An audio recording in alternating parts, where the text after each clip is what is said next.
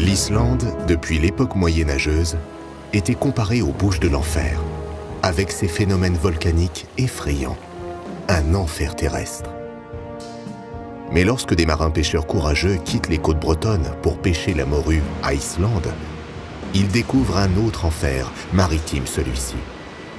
Cette île pour eux avait un nom, l'île d'enfer.